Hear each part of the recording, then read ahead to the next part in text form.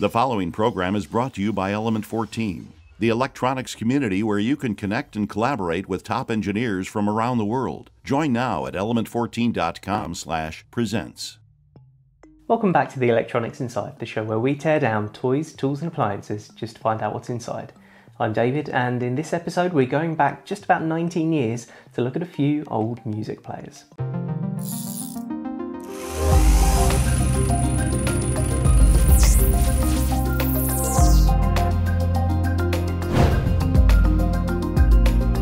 So, when I say a couple of music players, of course, we're talking reasonably before MP3. Uh, and I've got a couple of examples of tape uh, cassette players, or mini cassette, I think is the proper title. Uh, and I've got a couple of mini disc players. Now, two of these are just kind of for show because one of the weird quirks of purchasing things like this on eBay means you end up in a bulk buy. Now, I did want to quickly show this one. This disc Walkman comes from somewhere in the early 90s, and I had one almost exactly like this when I was younger. Uh, just to prove it, here's a photo. Now, I don't want to say that my parents bought this for me and my sister because they were fed up of listening to our tapes in the car, but I'm pretty sure my parents bought us these so they didn't have to listen to our tapes in the car. And who can blame them? The uh, Ring Raiders How It All Began episode on loop can only be played so many times to an adult. But really simple controls, physical, mechanical buttons. The other example I've got here is a, a mini disc player, but it is very, very much worse for wear. Um, to say that the battery has leaked in here would be a gross understatement. And it's so bad that the USB port, which was a really cool feature which very few mini discs had, also full of corrosion. So goodness only knows what that one looks like inside, but that's not the point.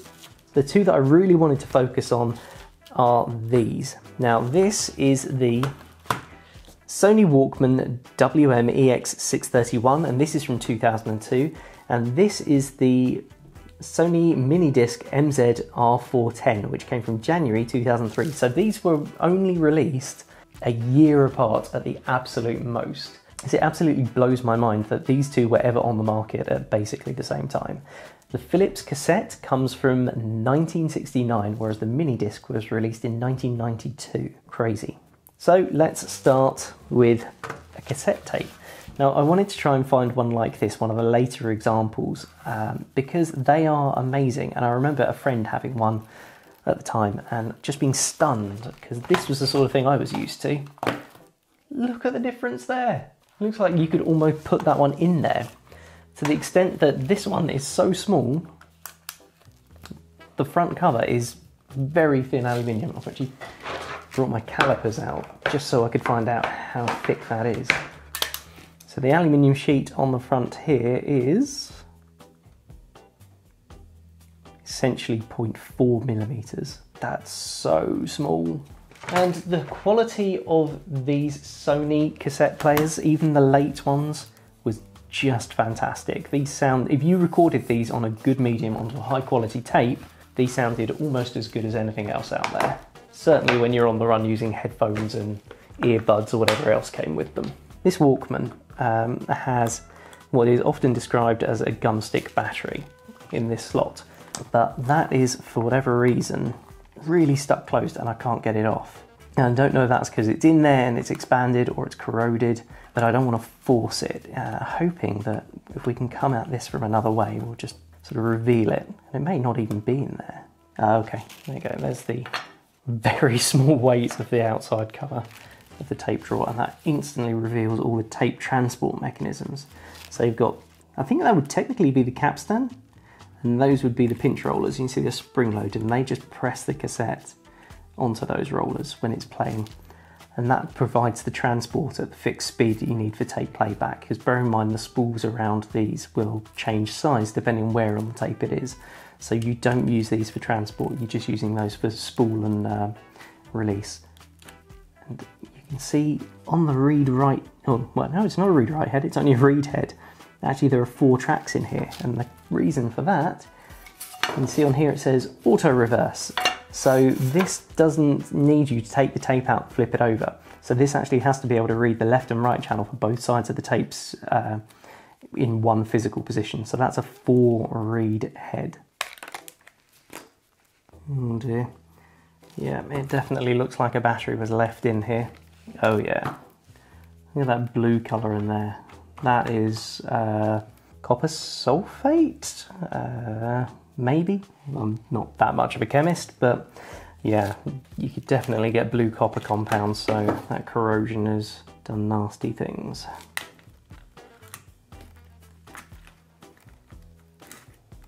Okay, nickel metal hydride battery. I'm going to suggest that's not very healthy. Certainly the contacts on here aren't. There we go. Wow. Belt drives. Single motor, which presumably is multi-directional, and actually that still moves wonderfully. For belts that are getting on for 20 years old, that has got a fantastic feel to it. Oh look, so up here, you've got a couple of tiny little switches those interface with the bottom of the tape, telling it what kind of tape there is in there. Now that is the direct replacement for the buttons which told you normal or metal or chromium. Now I can't remember, I'm not a tape aficionado, but I seem to remember that those two notches could mean either chrome, metal oxide or ferrite, which were the three options essentially the normal on the, uh, the old tape player. And so this would know automatically which kind of tape you had in there Can actually hear that going. Aha! So this big thing here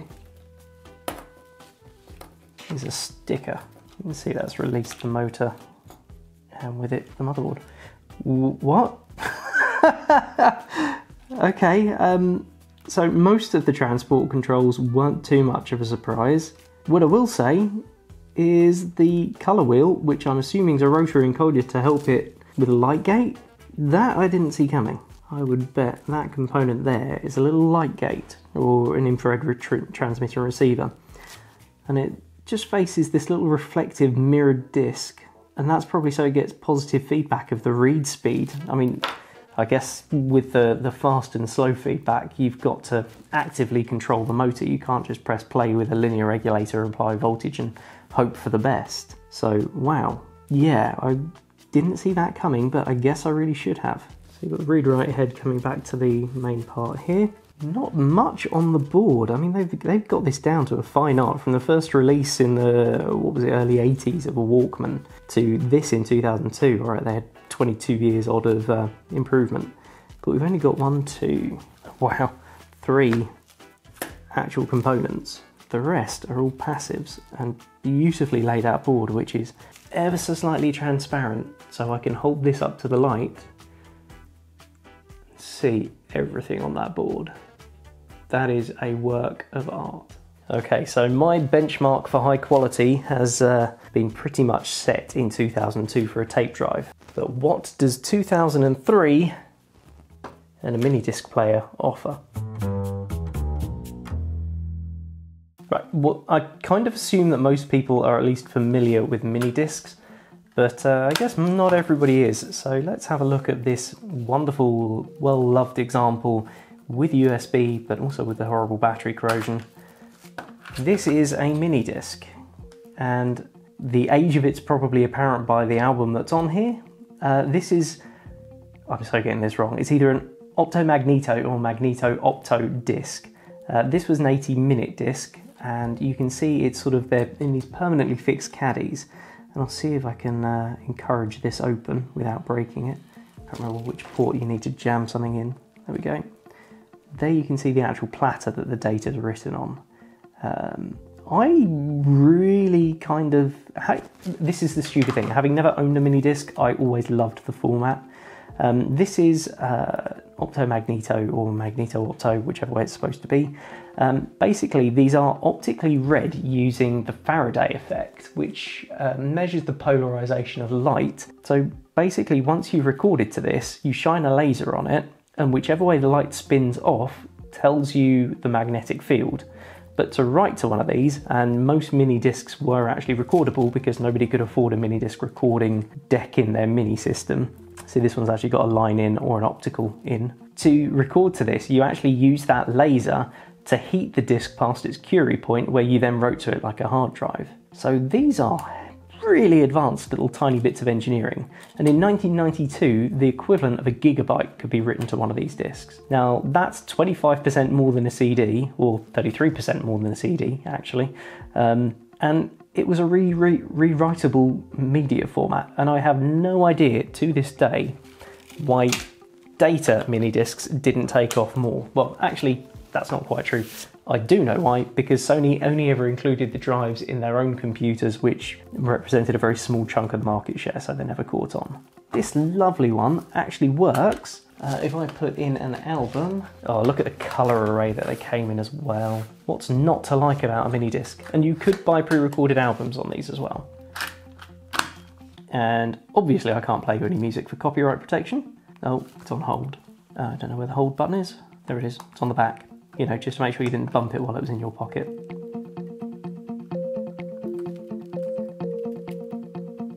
And you could have track information on these. So you could have this scrolling through the disc title, the album, and the artist.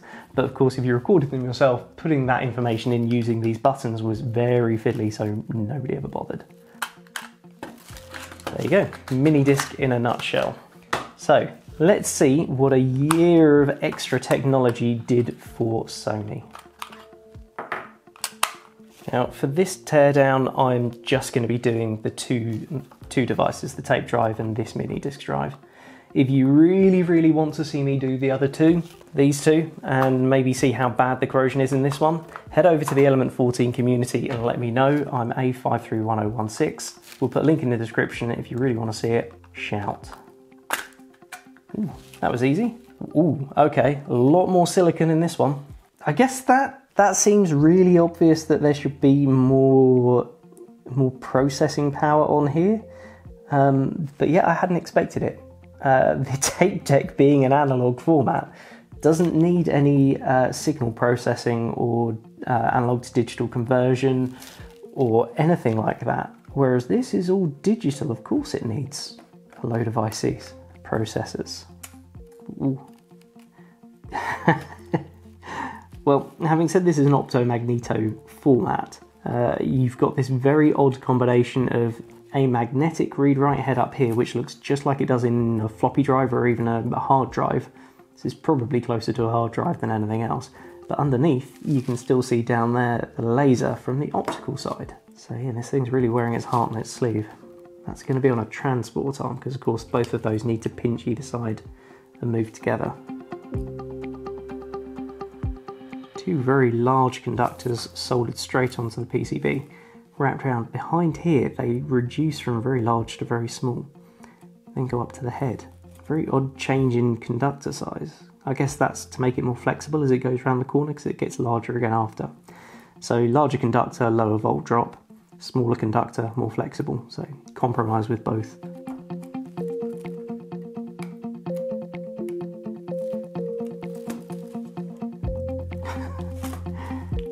so yeah, even the uh, line input has got gold contact and an optical receiver at the back. So you could do uh, optical in uh, and high speed uh, record from CDs that had optical outputs, um, or you could use an analog input and record from something else. But yeah, gold plated terminals. This is a wonderfully built machine. Very, very nice. I feel like it was continuing right on from the, the same ethos as the Walkman that were very high quality. So this is the optical sled. Um, got movement driven from here, and that moves the diode up and down.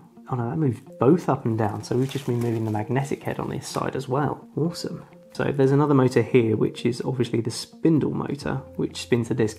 Interestingly, mini discs are constant linear velocity, so the disc will actually rotate slower at the center. No, vice versa. Wait, no.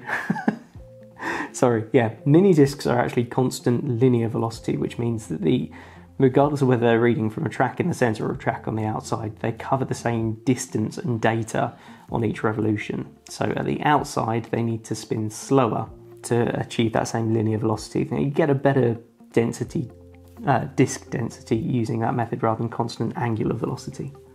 Well, there you have it. The, uh, the opto-magneto and processing power required to read a mini disk. I mean, this is cool in its own right. I mean, this is got some lovely onboard hardware, quite clearly some uh, custom CPUs for the, the purpose, I would think. And the high quality of the components I've used is just astounding. Okay, you've got two very different approaches to what is essentially the same problem of making music portable, taking it on the go with you. You've got the mechanical and analog throwback to the 1960s, which is just stunning as an achievement. But then you've got all the computing and the digital processing, and it's just as little mechanical interface as you can get to that digital solution. And I guess the natural conclusion to this was, of course, MP3, especially when you had solid state storage. You don't need any moving parts at all. What I will say is, I'm a little bit disappointed that mini disc didn't survive because the big brother to this, the NetMD format, was the HiMD format, and that enabled you to get 45 hours of music on one of these. You could do that in MP3 or Windows Media Audio format. If that was an option and that became popularly available, I definitely would have liked those instead of an MP3 player. Either way, I hope you've enjoyed these teardowns. I've absolutely loved these. Thank you so much for watching. I'll see you next time.